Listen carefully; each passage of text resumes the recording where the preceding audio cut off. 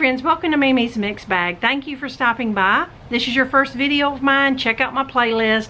I've got hundreds and hundreds of craft projects, seasonal decor, all kinds of happy gifts. This is a video I've been meaning to bring to you ever since last fall because I was pleasantly surprised about something I ordered off Temu and it was just too good not to share. But since then I've ordered more of them and I've been wanting to make this video and show you what it is uh, somewhere on Facebook or somewhere I read where somebody was ordering these canvases off of Temu and I really wasn't sure what, they, what it was so I went on Temu, I searched wall art and I mean I went down a rabbit hole and you can order wall art from all the way from 8 by 10 all the way to sofa size. The only drawback is that they it is like loose canvas. They are rolled up canvases so you have to finish it out. Either you have to frame them, make a frame, frame, mount them in some way. I went ahead and ordered a three piece and I couldn't believe how pretty they were. So I'm gonna show you my very first canvas order. Last fall I went to this Amazon return store. I found a three pack of these canvases and it just happened to fit these bird pictures. I couldn't believe it. So I came home and I painted over the mountain scene or whatever it was on there and then I just stapled and hot glued these canvases on these canvas boards and I just hung them up on my fireplace. Now honestly I should have framed them out so they would be a little more professional looking but I just never got around to it last year, but I do plan on doing it this year. But I just want to show you how beautiful these prints are. And I don't have the measurement offhand, but I'll put it on the screen here just so you'll see how big these are. They took up the whole top of my fireplace and were just beautiful last fall. So right after Christmas, I decided to order more of these rolled up canvases. And so I've had these really for the last six months and I've been meaning to uh, finish them out. And here in the summer, I've got the time and I'm gonna do it. But let me just show you what all I ordered. When I say canvas, they kind of feel like a vinyl canvas, if that makes sense. It's not anything that rips easy, very durable fabric that would definitely, you know, fold over and staple or nail, however you plan on finishing them out. The first one is one of the smaller ones. My daughter loves patriotic stuff and I found this kind of graffiti Statue of Liberty. Now with it being this graffiti like, I could probably get 11 by 14 frame and just cut some of the graffiti off. It wouldn't really distort the, the image at all. So I thought, you know, that would be an easy way to do this one.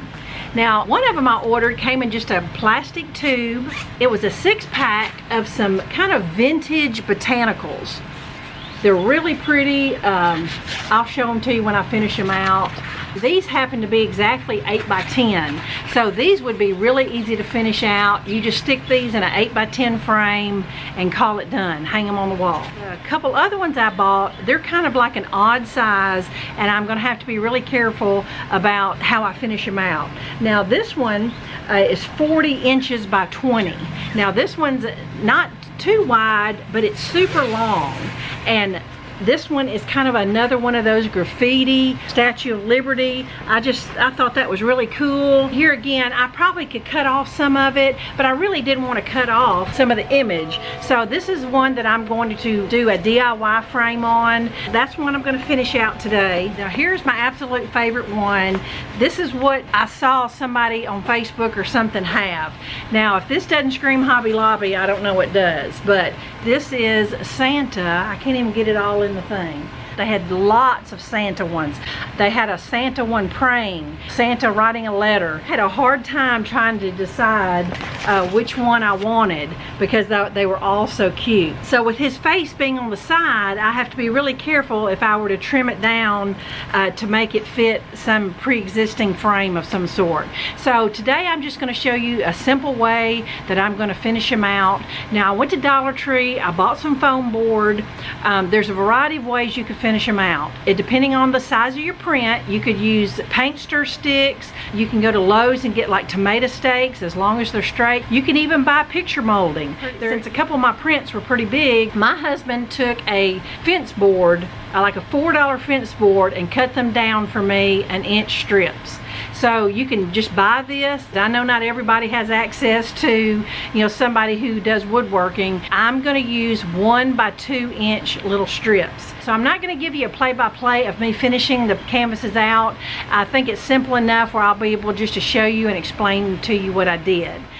All right, friends, it's been a few days. I've got uh, just about all of my canvases framed now, with the exception of that three-piece wood set that I showed you outside, and I just ran out of woods. The good thing is this one will be super easy where I'll just cut some wood and I can nail it directly into the canvas frame, and that'll be a super simple one.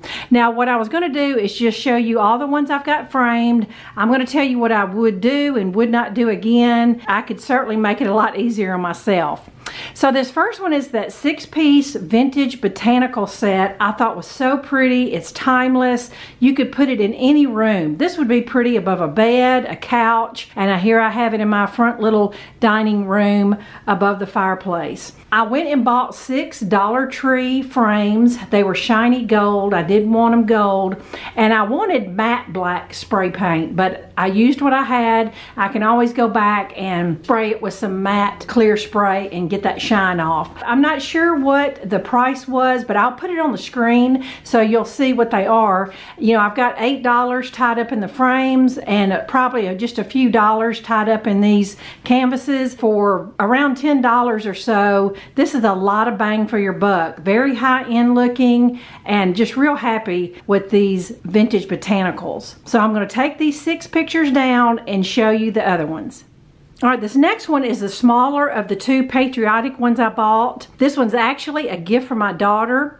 And what I decided to do was just staple it onto a stretched canvas frame. I painted it black first, and then I ended up having to cover up some of the graphic around it. But just so you know, this is 11 by 14 stretch canvas, and it really just fit it perfect, even losing a little bit of the picture. I'm not sure what I paid for it, but I'll put the price on the screen, and I think she's gonna love this picture to put in her house somewhere. Right, here so, is the second one, the large patriotic canvas that I bought for myself. Bring it in a little closer just so you can see Marilyn Monroe and just all kinds of like Campbell soup. Very Andy Warhol pop art look. I think that's really cool. Even though it doesn't necessarily go with my decor, it's fun. I'm really disappointed in this one and my Santa one just because I can see every flaw. Now what I ended up doing is I had to piece together some Dollar Tree foam board and I just glued the canvas to the foam board and then my husband helped me make a wood frame, just the one by two strips someone just walking in probably wouldn't notice it, but it's just, you know, I see every flaw and it's just not as smooth as I want it to be. It's like 40 inches by 20 inches. It's really good size, so it'll be fun to look at for the month of July. I'll put the price on the screen, what I paid for it.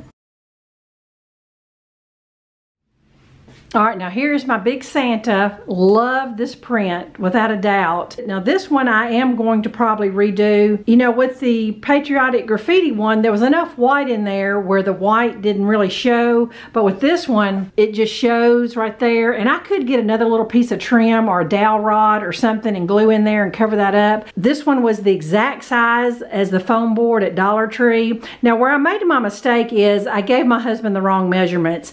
If this frame was just a half an inch smaller all the way around, I could have just laid it on top of the canvas and no one would know any different. But since I'm seeing that white frame around it, it just doesn't look good. So I'm definitely going to either fix the wood frame or find a whole different frame altogether. The main purpose of this video was just to show you this great wall art that you can get from Temu for just nearly nothing. I think I paid a few dollars for this, but like the others, I'll put the price on the screen so you can check it out.